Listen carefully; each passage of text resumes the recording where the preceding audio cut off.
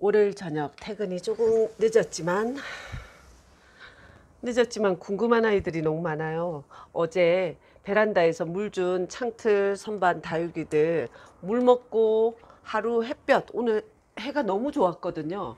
그 해 좋은 양지를 겪은 아이들의 변화가 너무 궁금한 거 있죠. 또 보여드리면 와 이쁩니다. 지금 아파트 단지 내 가로등 반사빛하고 다육이가 신비롭게 보이는 컷이 샷이 나오는데요. 이건 이건 착각입니다. 이게 조명빨과 이렇게 각을 와 그런데 진짜 야간 다육이 이쁩니다. 요 수연이가 보랏빛을 살짝 띠고 라줘야 물 먹고 맑아졌어요. 그런데 제가 카메라 음, 카메라에 불을 켜지 않은 상태로 보여드리고 있어서 색깔이 조금 어두우면서 요 도태랑도 이렇게 보니까 입장 뒤쪽으로 붉은 빛을 담았지요. 이건 어제만 해도 못 보던 빛깔인 것 같은데 오늘 햇살 받고 이랬을까? 이렇게 변했을까요?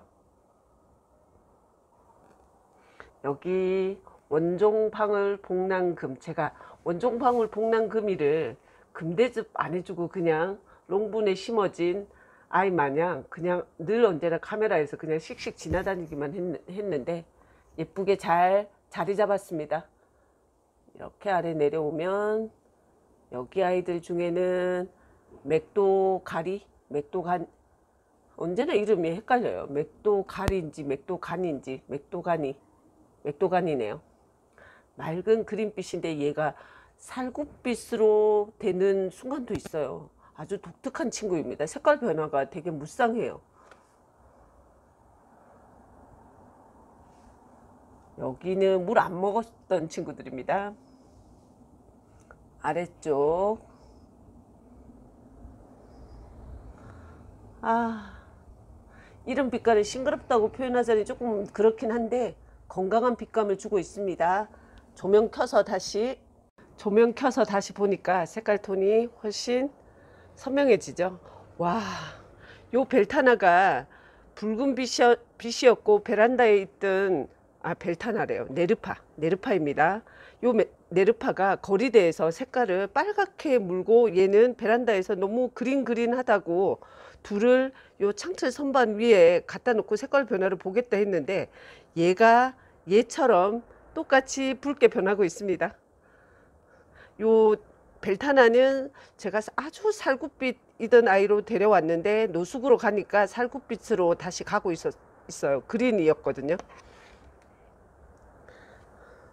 야간에 살구나무는 카메라 안에 전혀 드러나지 않네요. 그냥 약간 안개 같은 느낌입니다. 와, 물 먹고 햇살 잘 받으니까 색깔이 점점 더 진해졌습니다. 봄 햇볕에도 다육이 빛감이 이런 빛감이 된다는 게 저는 처음 경험해 보는 느낌이에요.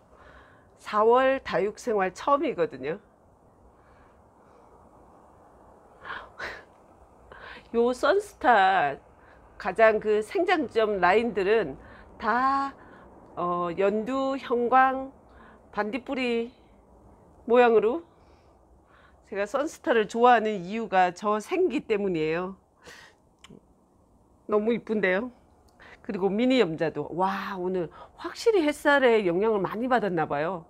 빛을 많이 물었죠. 저 라인색 보세요. 염자 이쁜 줄 모르겠더니 미니 염자의 이 빛감 무는 것 때문에 이쁜 거 알겠어요. 그리고 내려와서 수연. 수연도 훨씬 진해졌죠. 꼬집게 해줘서 생장점 가까이에 올라오고 있는데 자구가 두 개씩 세 개씩 올라오는 것 같지 않고 그냥 한 개 같은 연봉 파랑새는 물 주려고 끄내를 보니까 화분이랑 너무 안 어울려서 기회가 되면 화분을 좀 바꿔주고 싶다라는 생각을 했어요. 오팔리나도 색깔이 진해졌습니다.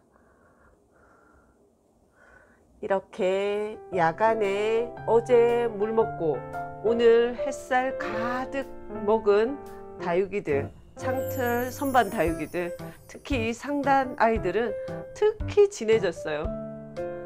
고생스러웠지만 이렇게 예뻐진 다육이 보니까 보상이 됩니다.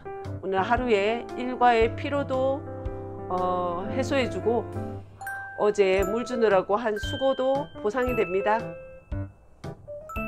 저는 다육 이야기 다른 영상으로 또 찾아올게요.